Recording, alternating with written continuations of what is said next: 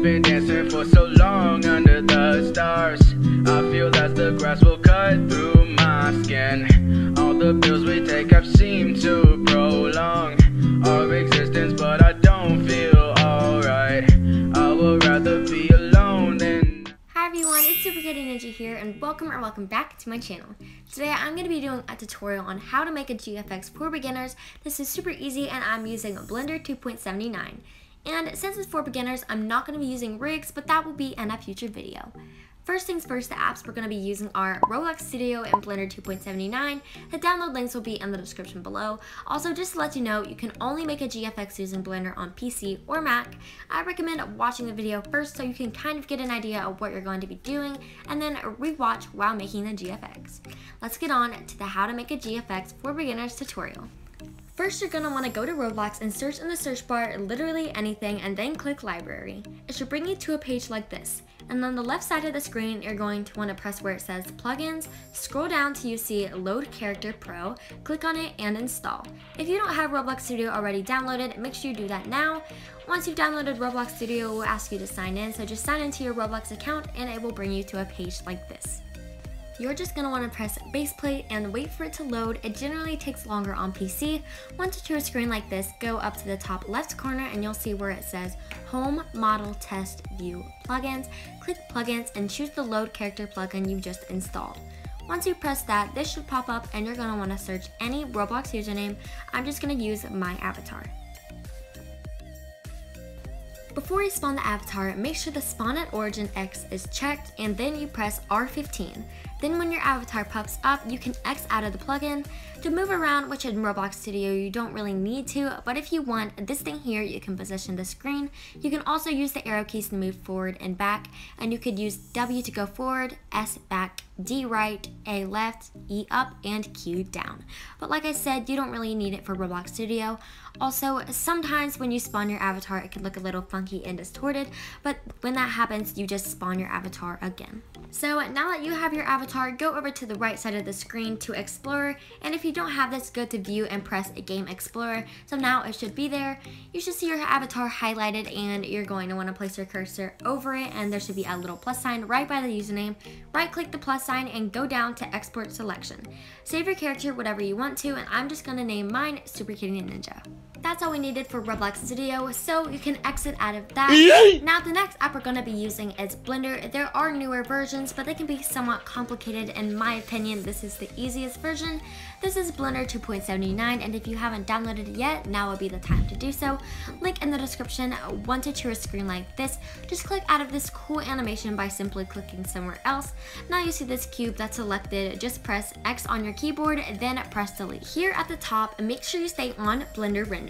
Now you're going to want to go to the top left corner and where it says File, left click that and then go down to Import, then Wavefront OBJ. Now you're going to want to go to wherever you saved it, find it, import it in the top right corner. Your avatar should pop up. Press Shift, then F, and this is how you position your camera. Just like Roblox Studio, W forwards, S backwards, D right, A left, E up, and Q down. Blender is going to take a little getting used to and to go faster, press shift. Then you're going to want to position your camera in front of your character. Now on the right side of the screen where it says resolution, set the top and bottom to 2000, then scroll down to where it says shading and press sky and make it transparent. That means it has no background. If you wanted a background, you could add a model and you could just look up on Roblox Studio, aesthetic, and a few cute rooms will come up but I'm just gonna make this transparent. You can add a background on your phone if you like, or you can even use it for your thumbnails. Next, you're gonna wanna go back to the top and look for the world icon. Go to the bottom and turn on ambient occlusion and environment lighting. Now on the bottom left where it says object mode, there's a little snowball there. Just click that and choose material.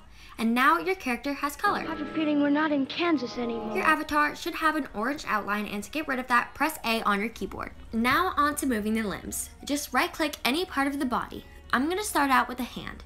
And if it selects the whole arm, you spawn it at R6 in Roblox Studio. So you wanna go back to Roblox Studio and rewind. So I'm just gonna be moving the arm and what I'm gonna do is right click the hand, then hold shift, then right click the arm. Now they're both selected. To rotate can be a bit confusing so you might need to play around and kind of get the hang of it. When I first started making GFXs, it took me about 8 tries to get the idea, and it definitely won't be perfect the first time. Make sure you have the red line sideways from your GFX. Go down by the little snowball and look for 3 arrows. If you don't have these 3 arrows, then click the blue, green, and red triangle. Now click the curved arrow in the middle and it should give you a rotating sphere. While your hand and arm are still selected, on the rotator, place your cursor over the green line and left click. Then press Y on your keyboard. Slightly move your cursor to the left and it should move sideways just like this. I'm going to position my character with one hand on the hip and one hand on her face.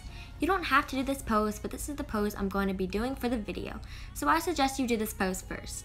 If the arm didn't go the way mine did and it went the other way, go to the left side of the screen and scroll down. At the very bottom it says history. Click on that and press undo. If the color didn't match the green line and it doesn't go sideways, then try red or blue and do the same thing. But press X instead of Y if you're using red, or press Z instead of Y if you're using blue. But usually it stays at this color. It really depends on how you position your character, but trust me, you'll get used to it when you practice. Now once you have your arm, just like mine, go back to the three arrows and click the first arrow. Here you have another tool. Blue goes up, red goes sideways, and green goes forward and backward. Just bring your arm up just a bit by dragging upwards on the blue arrow, and then drag the red arrow right. To make the arm look more realistic on the body, I'm going to go back to the rotating sphere, place my cursor over the green line, left click and press Y twice, then drag to the left slightly. If what I did before with the green line didn't work for you, then most likely it won't work again. So just do the same color you did first. Now, once your arm looks like my arm, left click the green line, then press Y and drag upwards to make it look like my screen. Then go back down to the three arrows, choose the first one, drag down, left, then just position your arm to your body. It doesn't have to look perfect on the side, it only matters what you see in the front. Go back down to the rotator and drag the blue line to the left slightly and position your arm again. If you made ear, congrats, you're halfway done with the tutorial. Now that we've finished this arm, on to the next. It's very similar. Right click the hand, hold shift, then right click the arm. Place your cursor over the blue line, left click, press Z, and simply drag to the right. Make sure you drag pretty far down. Now position your camera by holding shift, then F, and move your camera downwards. Then go to the first arrow and drag the arm upwards, and you may need to move over a bit to see the green line. Drag the green arrow a bit forward. Then go back to the rotating sphere, then place your cursor over the green line. Left click and press Y twice and then drag to the left. And do the exact same thing with the blue line, but instead of Y, press Z twice.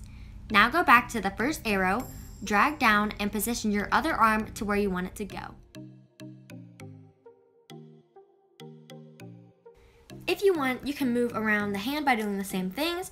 Also, you can move the head as well. Just make sure you select all the accessories, including the hair and the head, and do it just like you're selecting an arm and a hand. Now go to the rotating sphere and just move the blue line slightly either way. If you want, you can move the legs, but unless you're using a model, I don't advise it. It's just the same thing you would do with the arm. Now position your camera to however you want your GFX to be and go to the little snowball, click it, and right above material, press rendered. This is how it will look when it's rendered. So if you're happy with your final look, congrats, you finished your GFX and it's ready to be rendered.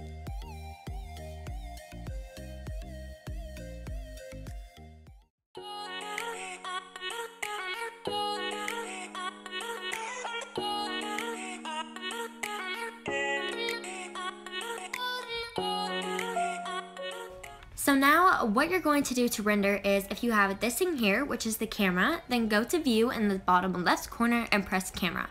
But if you don't, go to add, next to view and click camera app at the top.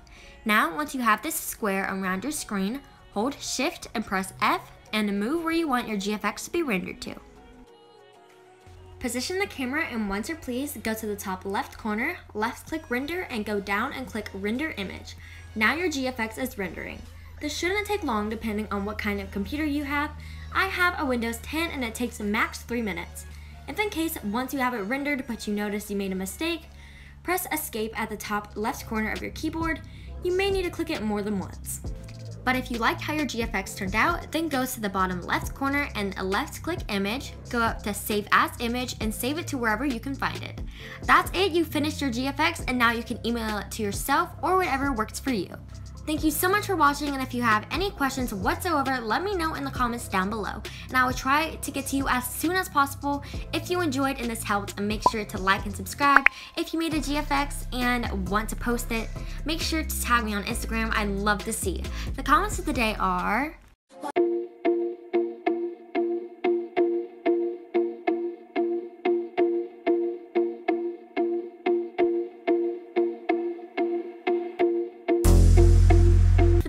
comments, comment down below something supportive for a chance to be up here in my next video. And thanks for watching. Make sure you read the description and have a great week. Lots of love, your friend, Super Kitty Ninja. Bye! Also, if you made it here, comment down below kitty.